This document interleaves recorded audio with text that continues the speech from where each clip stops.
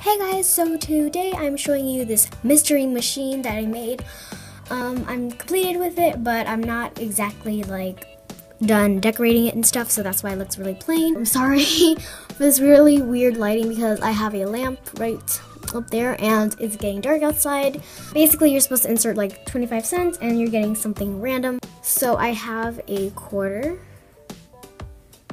and I'm just going to insert it. And you might see like my hair or like one of my body parts in this shot. So yeah, turn this. All you're supposed to turn it all the way. And then in here, I got the zebra. So I'm going to try it again. So I have my quarter. And then I'm just going to turn it.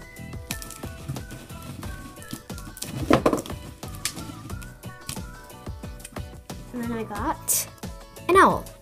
So if you think that I'm cheating that like I just put it right here and then um, I like make something fall so it has that sound, then I'm just going to bring the camera close here so you can see like when it drops and stuff.